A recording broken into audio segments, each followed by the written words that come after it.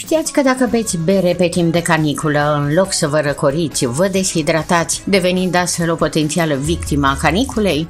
Recomandată este apa, 1,5-2 litri, dar nici aceea rece. Sucurile naturale din fructe și ceaiuri călduțe, mâncați fructe și legume sau iaurt și evitați carnea sau mezelurile grase, dar și alcoolul, precum și băuturile ce conțin cofeină, de exemplu cafea, ceai sau cola, sau zahăr în cantitate mare.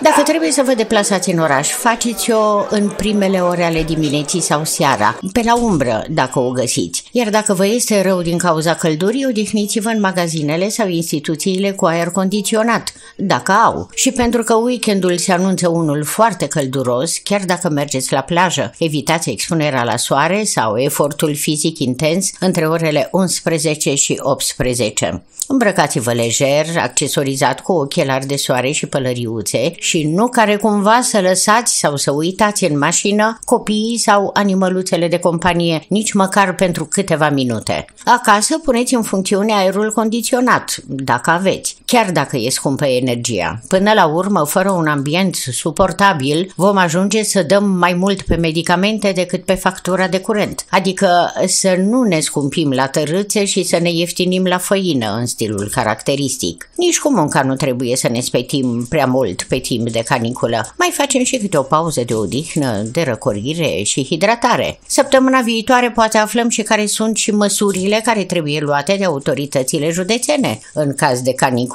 că de recomandări ne e plin podul.